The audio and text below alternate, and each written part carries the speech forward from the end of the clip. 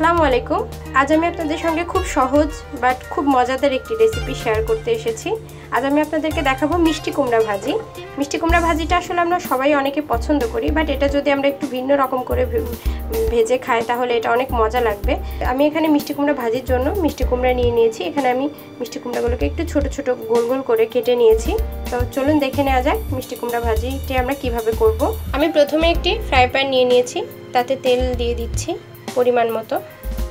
তারপরে আমি ফ্রোংয়ের জন্য দুইটা তেজপাতা, দুইটা শুকনো লঙ্কা, গোটা জিরা দিয়ে একটু নাড়াচাড়া করে হালকা করে ভেজে নিব।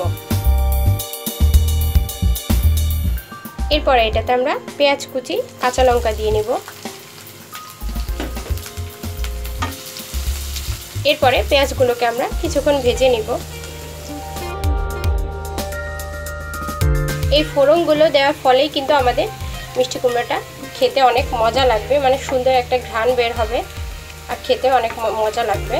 আমাদের পেঁয়াজগুলো ভাজা হয়ে গেছে এই পর্যায়ে আমরা মিষ্টি কুমড়াগুলো দিয়ে দিব। এরপরে আমরা দিয়ে দিব স্বাদ মতো লবণ আর পরিমাণ মতো হলুদ গুঁড়া। যেহেতু মিষ্টি কুমড়াটা হলুদ কালার, সেজন্য হলুদটা খুব বেশি দেওয়া লাগবে না। এবার এটাকে আমরা খুব সুন্দর করে মিশিয়ে নিব। মিশিয়ে নেওয়ার পরে আমরা দু মিনিটের জন্য এটাকে একটু ঢাকা দিয়ে রাখব। তো ফিরে এলাম দু মিনিট পর।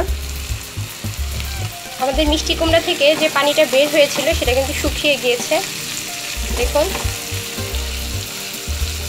এটা কিন্তু খুব বেশিক্ষণ ঢেকে রাখা যাবে না, তাহলে এটা একদম পুরোপুরি বেশি গলে যাবে। এটা কিন্তু অনেকটা সিদ্ধ হয়ে গিয়েছে। এখন এটাকে আমরা এভাবে করে ঢাকনা ছাড়া আরও কিছুক্ষণ ভেজে নিব। এ পর্যায়ে আমি কিছু কালো জিরা দিয়ে নিব। এটা অপশনাল আপনারা চাইলে এটা স্কিপও করতে পারেন।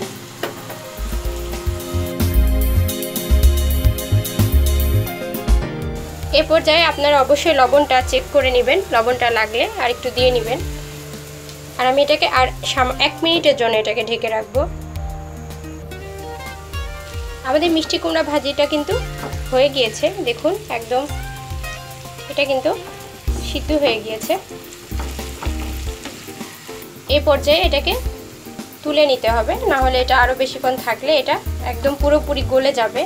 এটা কিন্তু পুরোপুরি সিদ্ধ হয়ে গিয়েছে। তার মানে আমাদের মিষ্টি কুমড়া ভাজিটা পুরোপুরি হয়ে গিয়েছে। মিষ্টি কুমড়া ভাজিটা আমি একটি পাত্রে তুলে নিয়েছি, দেখুন। খুবই সামান্য উপকরণ দিয়েই, ঘরে থাকা উপকরণ দিয়ে এভাবে সুন্দর একটি মিষ্টি কুমড়া ভাজি করে করে নেওয়া যায়। এটা কিন্তু খেতে অনেক মজা লাগে। আপনারা বাসায় ট্রাই করে দেখতে পারেন। আশা করি আমার রেসিপিটি আপনাদের ভালো লেগেছে। যদি ভালো লেগে থাকে তাহলে অবশ্যই লাইক কমেন্ট শেয়ার দিতে ভুলবেন না। আর আমার আরও নতুন নতুন রেসিপি পেতে আমার চ্যানেলকে অবশ্যই সাবস্ক্রাইব করবেন। তো আজকের মতো বিদায় নিচ্ছি। দেখা হবে অন্য কোনো দিন, অন্য কোনো রেসিপি নিয়ে। সে পর্যন্ত সবাই ভালো থাকবেন, সুস্থ থাকবেন। আল্লাহ হাফেজ।